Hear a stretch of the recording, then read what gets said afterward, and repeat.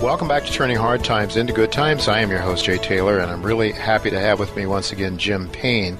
Jim is the Chief Executive Officer of Dynacert Inc., that's a company that trades primarily in Canada. Uh, it trades uh, under the symbol DYA, and it trades in uh, the United States under the symbol uh, DYFSF. That's where I purchased the shares of these uh, of this stock.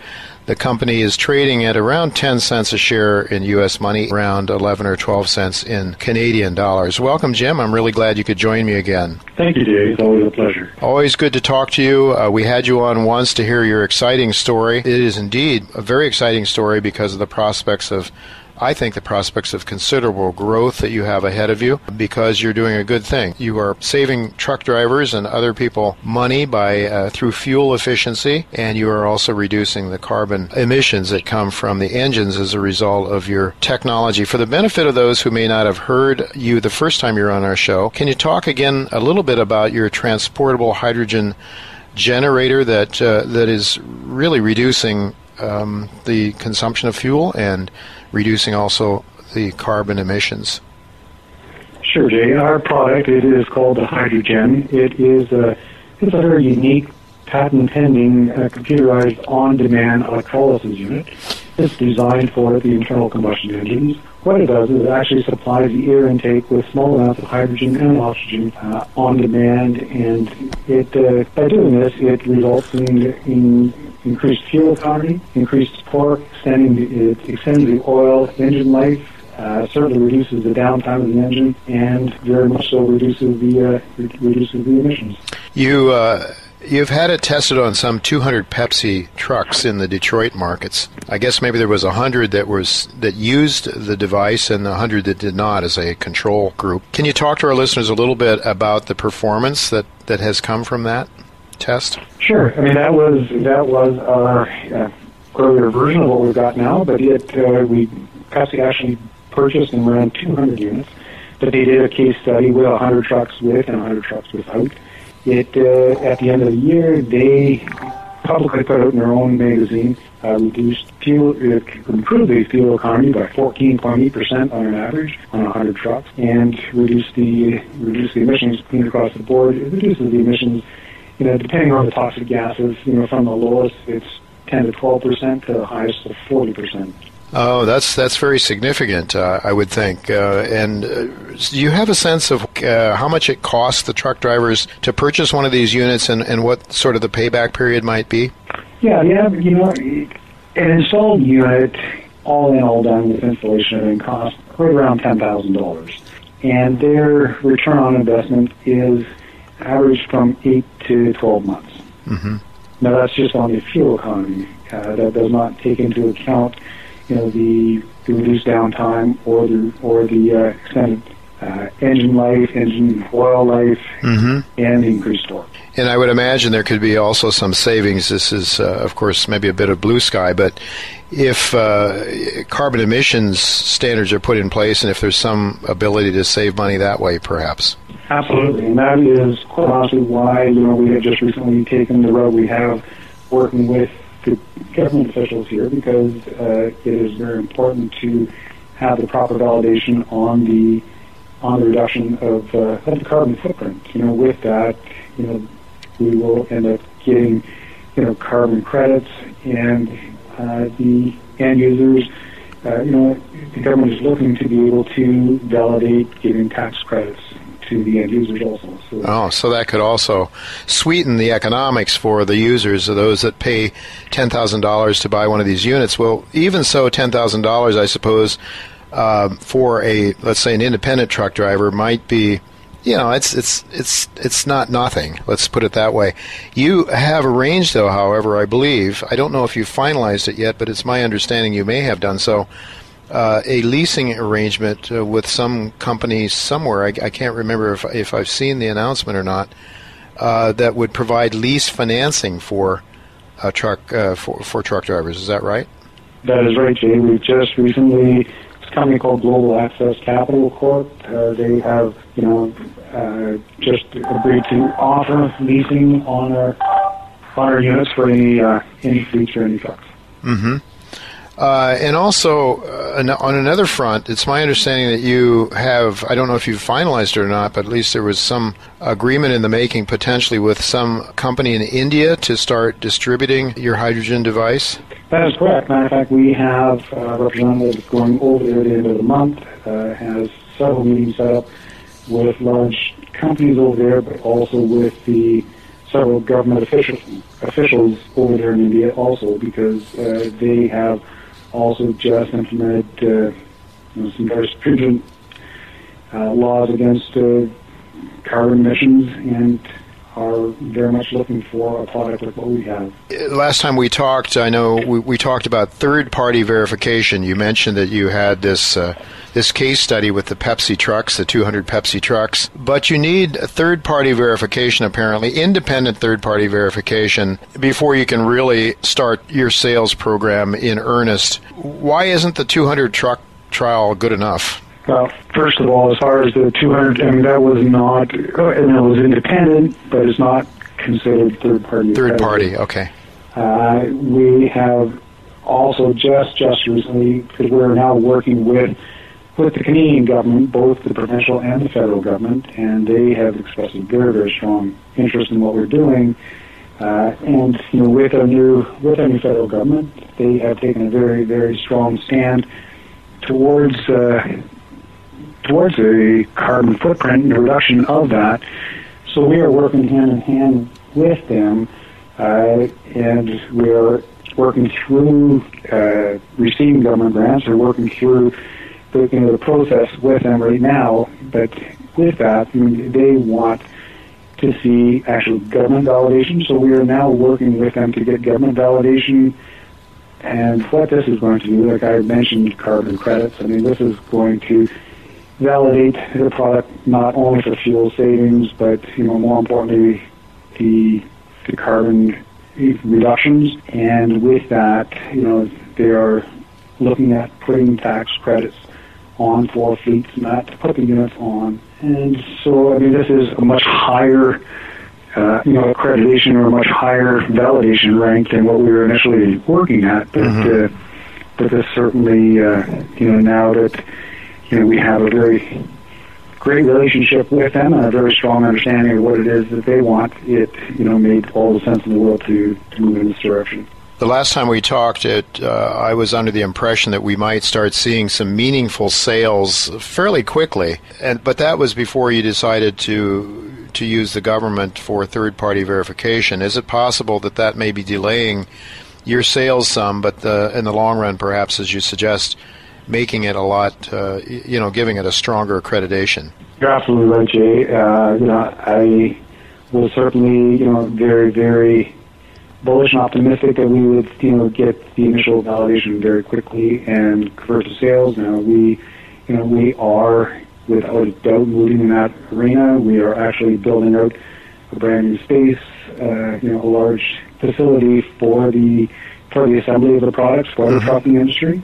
Uh, you know, this is all, you know, like I said, once again, you know, we're, you know, we are working hand in hand with, with the Canadian government, both provincially and federally, um, you know, to, uh, to do this. And the nice thing is, you know, by doing it this route, you know, it certainly does not cause any dilution for the, for our current shareholders uh-huh. either, you know, which I think is very important.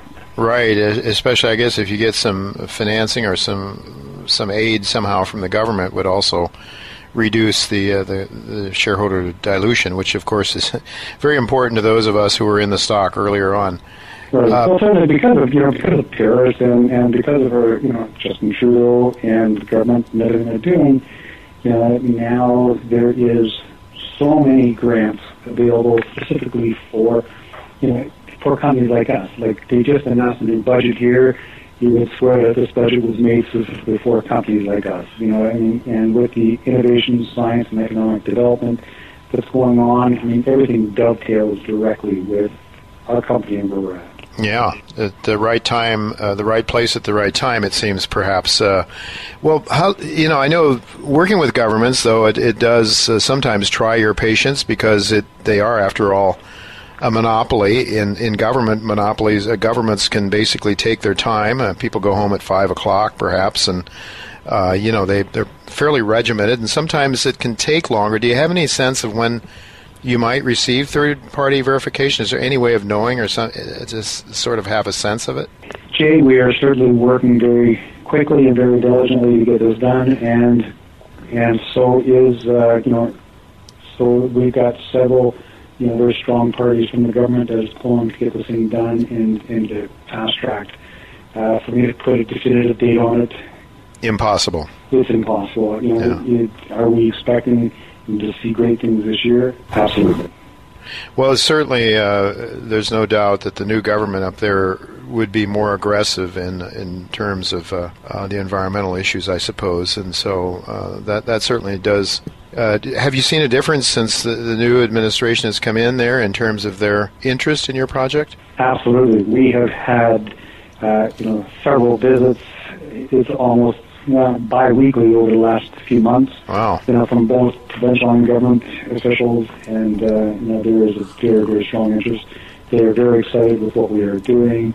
And quite honestly, that is why we, you know, we are moving ahead. I mean, we, you know, we have brought in a lot of, you know, added expertise. We have also, you know, committed to this to this build out of this new space, you know, for the uh, for the assembly of the product, and, and that's being done, you know, with with full confidence that you know everything is moving in a very positive direction.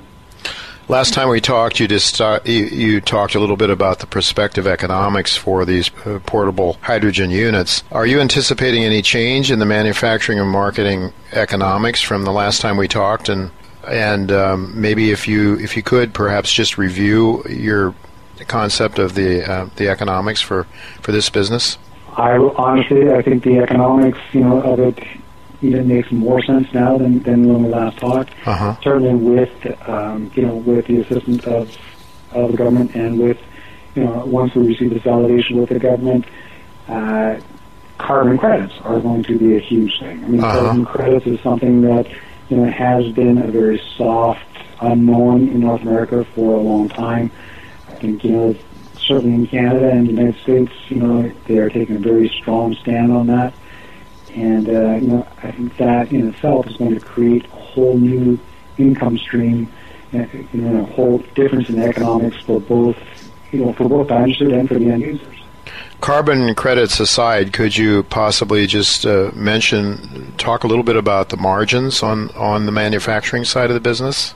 Well, on the manufacturing side, it, you know, we know where cost comes in, and you know, reality is, you know, we are working on a, like a 60% you know margin between uh, between cost and wholesale. Mm-hmm.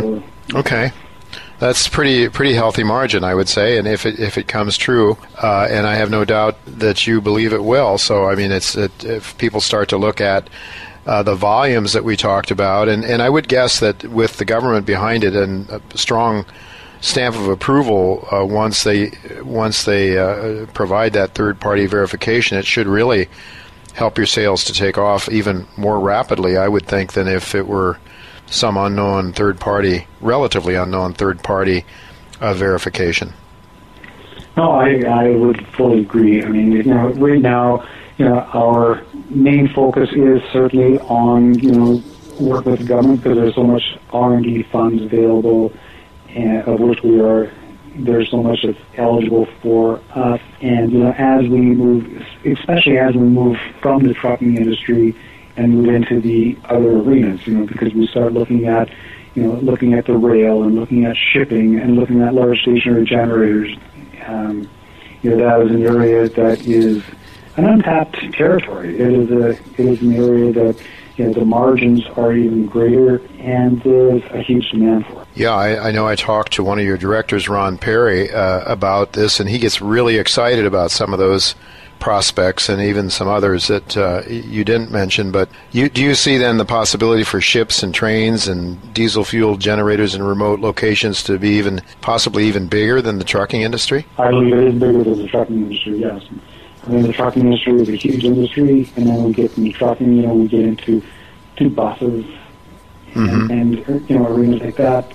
Uh, had some really good conversations, you know, with city buses just recently. And although I'm not confident we would see as great a fuel improvement there, I think you know the reduction in their downtime and the reduction in the in the carbon emissions will uh-huh. huge. Yeah, especially yeah. for government uh, government transportation, I suppose they would really want to be on top of that. That's correct. Jim, as far as you know, are there any uh, is there any serious competition to what you're doing? You know, Jay, it's interesting. There's lots of people, um, you know, moving into the hydrogen world, mm-hmm. uh, but you know, there's a, a, lot of companies that are looking at fuel cells and working in the fuel cell arena, which is it, that's a whole different field. It's not something that's a competitor to us whatsoever. And then, you know, certainly as down the road, I believe that eventually we will get to the hydrogen society you know, where people are burning hydrogen as a fuel. But mm-hmm. I think we are a long ways from that. I certainly think that, you know, we are a bridge to that, and I think that bridge is a very, very long bridge. So the technology that, that your competitors are talking about is, is considerably removed from what is uh, what is being used today, whereas yours is, is really just sort of an adjustment to that.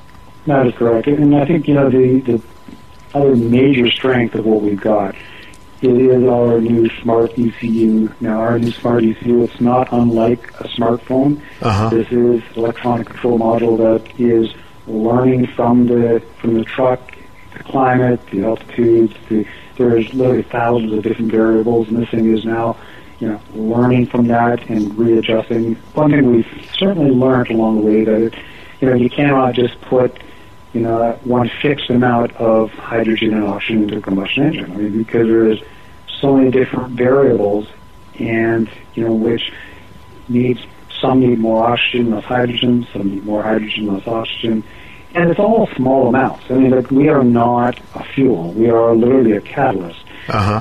Uh, it is something that is, has been proven time and time again, uh, you know, over the years, by the introduction of hydrogen into into a combustion engine, it improves or increases the flame spread nine to ten times. Mm. Mm-hmm. So, I mean, what it really is doing is giving you a cleaner, faster, more complete burn. Mm-hmm. And it's resulting in, in very considerable fuel savings and, and reduced carbon emissions. So it seems like seems like an excellent story, Jim. We're going to be certainly watching uh, the progress of your company, and um, would certainly want to talk to you in the future because I think this is a very exciting, a very exciting story. We've certainly had quite a bit of response from listeners uh, to this show who heard your first interview with us. So I really look forward to to having you back again. Anything else you might like to mention to our listeners today before we uh, before we conclude our discussion?